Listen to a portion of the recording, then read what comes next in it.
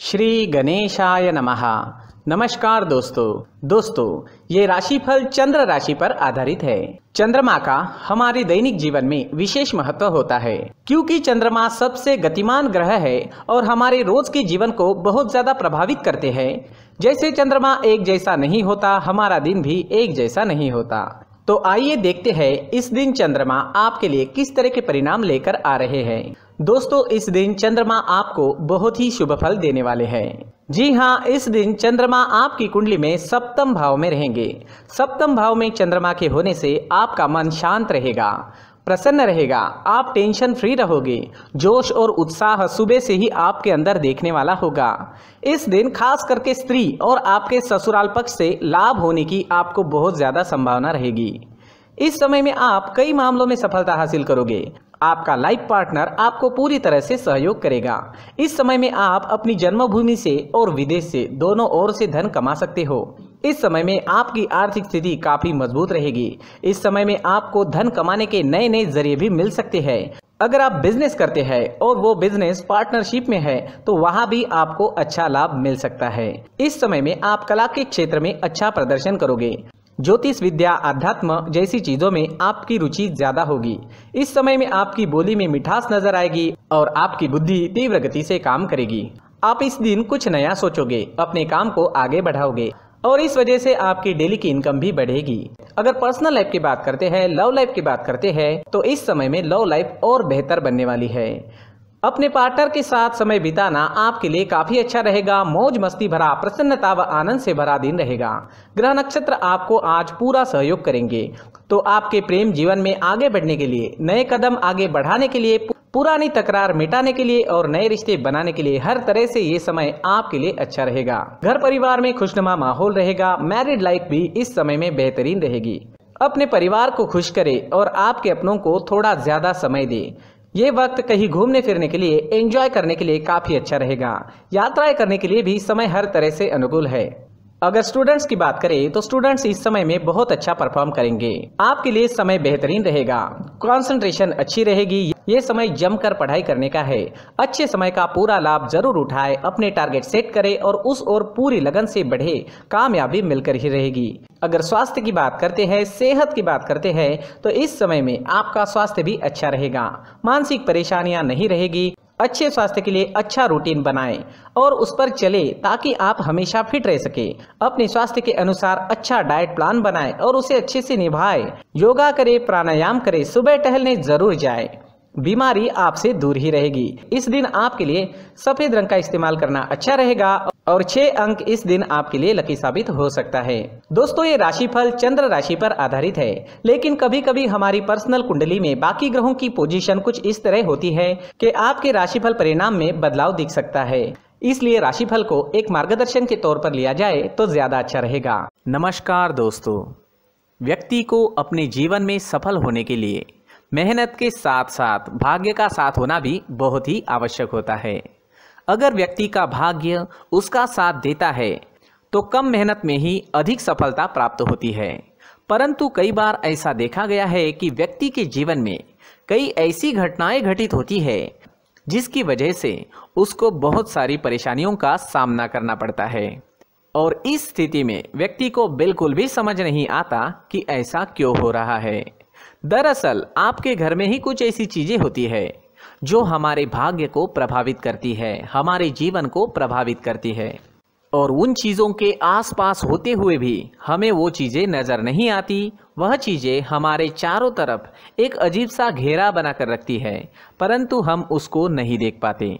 इन चीज़ों से हमारे घर में और हमारे जीवन में नकारात्मकता फैलती है, जिसकी वजह से हमें नुकसान उठाना पड़ता है। जिसकी वजह से हमें भारी नुकसान उठाना पड़ता है, हम पूरी तरह से कंगाल हो सकते हैं। अगर आप कहीं बाहर से आते हैं और अपने जूते चप्पल इधर उधर कहीं भी उतार देते हैं तो ये अशुभ होता है, क्योंकि इधर उधर जूते चप्पल उतारने की आदत की वजह से आपको अपने जीवन में आगे बढ़ने में रुकावटें उत्पन्न होती है। इससे उन्नति में बाधा आती है, इसलिए आप अपने जूते चप्पलों को उनकी जगह पर ठीक प्रकार से रखें। दोस्तों, काफ़ी लोगों को इस तरह की आदत होती है।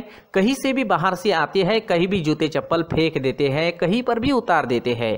कुछ कुछ लोग तो घर के एंट्री के मेन डोर के सामने ही जूते या चप्पल डायरेक्टली उतार देते हैं। ये तो बहुत ही गलत है, साथ ही कुछ लोग जूते चप्पल उल्टे रख देते हैं, उस पर ध्यान नहीं देते, लेकिन इन चीज़ों पर ध्यान देना बहुत ज़रूरी होता है और जूते चप्पल हमारे जीवन को बहुत ज़्यादा प्रभावित करते हैं। दोस्तों, ध्यान रखें, जूते चप्पल हमेशा साफ़ सुथरे रखें और उनको उनकी जगह पर रखें, उनके लिए एक स्थान बनाएँ। उस स्थान पर रखें, अगर कोई व्यवस्था उनके लिए की है तो बहुत ही अच्छी बात है, वहाँ पर उन्हें रखें, साफ़ सुथरा रखें जूते चप्पलों को उनकी जगह पर कुछ इस तरह से रखें कि वो देखने में भी अच्छी लगे। अगर वो चीज़ें देखने में अच्छी लग रही है तो फिर उनसे निगेटिव एनर्जी उत्पन्न होने की संभावना बिल्कुल भी नहीं रहेगी। तो दोस्तों, इस बात का ध्यान ज़रूर रखें। साथ ही दोस्तों, एक और बात है, जिस पर आपको ध्यान देना बहुत ज़रूरी होता है हमारे घर के छत के ऊपर। जिन चीज़ों का हमें काम नहीं होता है, उन्हें हम घर के छत के ऊपर रख देते हैं।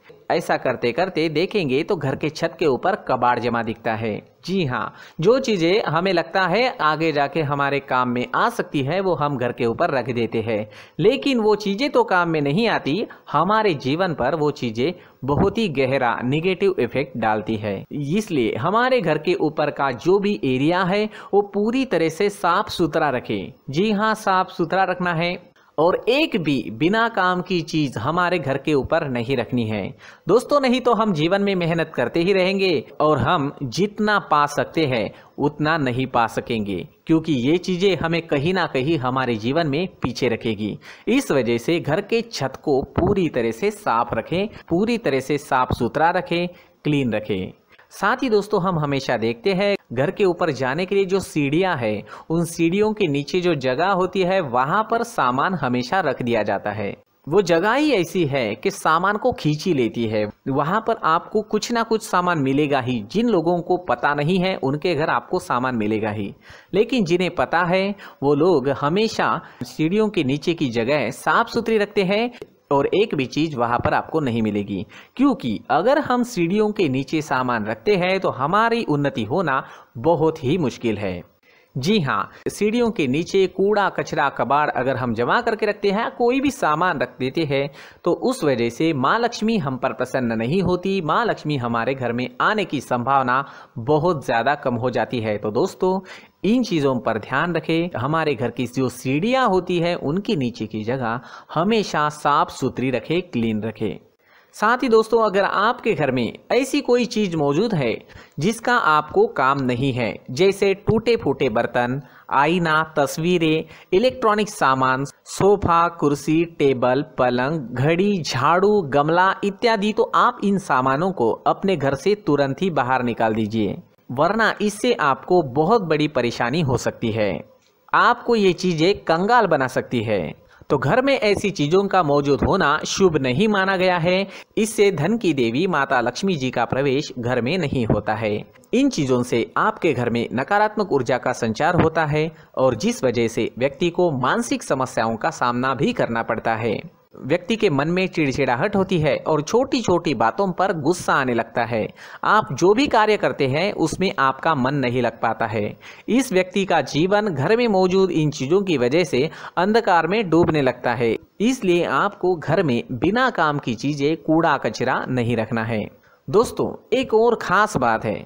हमारे घर में मकड़ी का अगर जाला है तो वो बिल्कुल भी शुभ नहीं है। जी हाँ वो अशुभ माना जाता है। घर में मकड़ी का जाला होना अशुभ है। इससे आपके अच्छे दिन भी बुरे दिनों में बदल सकते हैं। क्योंकि मकड़ी अपना जाल शिकार को फंसाने के लिए बनाती है। और अगर आपके घर में मकड़ी का जाला है तो इससे घर में नकारात्मक ऊर्जा का प्रभाव अधिक बनता है। और वास्तुशास्त्र के अनुसार इससे सकारात्मक ऊर्जा का नाश होना शुरू हो जाता है। और घर में नकारात्मक ऊर्जा बहुत ज़्यादा बढ़ जाती है। इसलिए आप अपने घर को हमेशा साफ़ सुथरा रखें। कम से कम एक महीने में अपने घर के हर कोने की साफ़ सफ़ाई ज़रूर करें। दोस्तों, मुख्य द्वार भी हमेशा साफ़ सुथरा रखें। मुख्य द्वार मुख्य द्वार को हमेशा सजाया जाता है क्योंकि मुख्य द्वार से ही हमारे घर में लक्ष्मी का प्रवेश होता है। तो मुख्य द्वार को साफ़ सुथरा रखें और सजा कर रखें तो बहुत अच्छा रहेगा। इससे मानसिक रोग और घर की परेशानियाँ दूर हो जाएगी, धन की कोई कमी नहीं रहेगी और इसके साथ साथ आय के नए स्रोत भी खुलने लगेंगे। इसी के साथ और कुछ चीज़ें हैं, जैसे टूटी फूटी जो भगवान की मूर्तियाँ होती है, वो हमारे घर में नहीं रखनी चाहिए। साथ ही जो भगवान के पुराने फ़ोटो है, जो जमा करके रखे हुए होते हैं तो दोस्तों वो चीज़ें नहीं रखनी चाहिए। जो भगवान के फ़ोटो या भगवान की मूर्तियाँ जो घर के मंदिर में हैं, बस वहाँ तक सीमित है। अगर आपके घर के शोकेस में भी वो मूर्तियाँ रखी है, कुछ फ़ोटो रखे थे, उन्हें भी साफ़ करते रहना चाहिए। जिन चीज़ों को हम मेंटेन नहीं कर पाते, साफ़ नहीं रख पाते, उन चीज़ों को घर से हटा देना ही आपके लिए अच्छा रहेगा। साथ ही दोस्तों, कुछ तस्वीरें हैं, जैसे डूबते नाव की तस्वीर या फिर झगड़े की तस्वीर। या फिर कुछ ऐसी तस्वीरें होती है जो देखते ही हमें समझ में आ जाता है कि ये तस्वीर निगेटिविटी दर्शा रही है। इस तरह की तस्वीर भी आपको आपके घर में नहीं रखनी है। जी हाँ इस तरह की तस्वीर लगाने से भी हमारे जीवन में उसी तरह की घटनाएँ घटित होना शुरू हो जाता है। हर एक चीज़ हमारे घर की हम पर प्रभाव डाल रही है।